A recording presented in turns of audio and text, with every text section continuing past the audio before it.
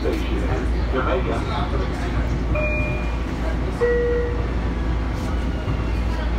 As you reach the train, please step over the gap between the train and the platform.